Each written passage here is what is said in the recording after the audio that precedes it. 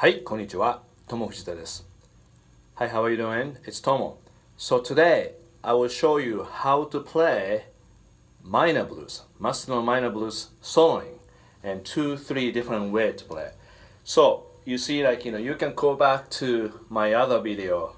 Uh, please watch Must know minor blues three levels. So first you learn basic minor blues chord changes, and you can learn you know you can play chord changes. So now this is the first one. First one you want to do minor pentatonic.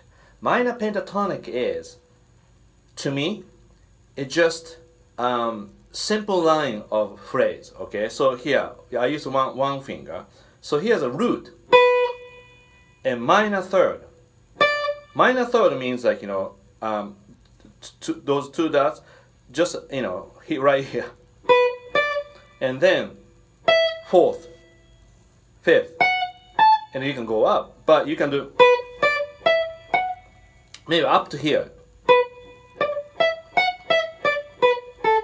You can go back you know root plus 7 5 so sometimes i practice like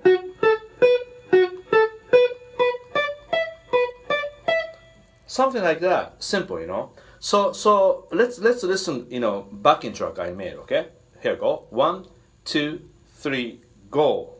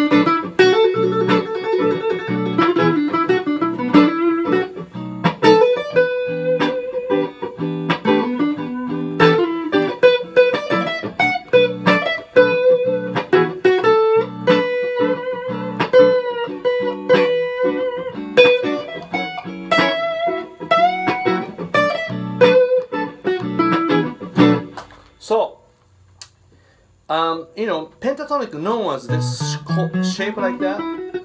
But this shape, you, basically, you can really learn three minutes and then guarantee three years won't change anything, you know. So, don't worry about it. So, I think you have to do one finger, and the approach is like, you know, figure out minor third, you know, like a distance. So, I play like a melody, pa pa pa pa, and then, you know, thinking BB King. That's always a good thing to do. Second step, little bit of intellectual way to play. Intellectual way to play means like you know understand each chord uh, sound. So this case, again you have to study triad, triad at my guitar wisdom. I teach a lot of triads. Almost you get you you get sick of triads. That's good. I feel same way. That's why we get better.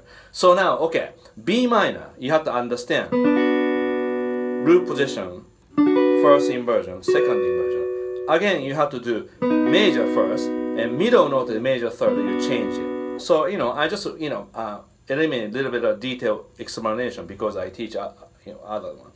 So here, major third and bottom, so change like that. If you play that D shape, you know, triangle shape, you know, eh, okay, top note is major third, you change. So every note you have to really understand triad. So B minor triad.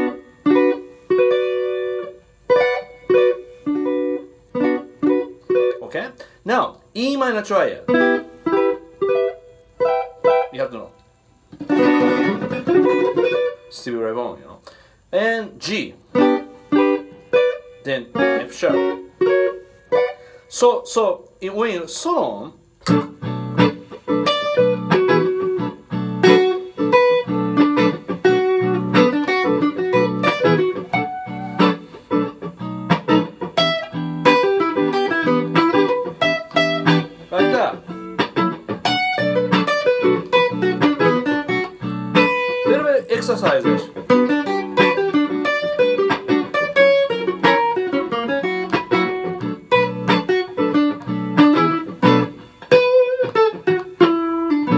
Okay?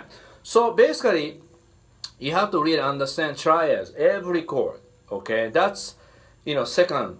And now we go to the third step, okay, to make jazzier. Okay? So the first thing I would do, like, you know, this is my technique: minor third above B minor, which is D. D major seventh arpeggio. I'm going to, you know, teach you this more in a different video, but I think I did, you know, uh, arpeggios from hell, not hell, uh, heaven myself. Okay, so you know, if you play D major seventh arpeggio, so then what's happening is against the B, flat three, five, seven, ninth. That's the sound. Okay, so that's one, very jazzy. Okay, now one, one more. Now this one one minor become one one dominant. Okay, the the, the result E minor. So the scale wise, it's you you can call Mixolydian flat 9, flat 13, but that's kind of difficult thing. So I, I think more diminish arpeggio. But if you play this diminish, which, whichever the fingering is good, major third, 5, flat 7, flat 9, it's all about degree, degree interval. What's, what's going on? You are really making yourself relative perfect pitch person. You know perfectly you can hear relatively. That's the one. You uh, you don't have to really have a perfect pitch if you have a perfect pitch but if you don't have any good opinion about the music or you know any good sense of you know phrasing it doesn't do anything just you know the notes that's all you know but this way relative perfect pitch that's the one you know i train all my students myself john mayer eric krauss everybody you know they those guys has you know really nice sense of a pitch understand the degree so here so we have about two minutes to do. Okay, let's try.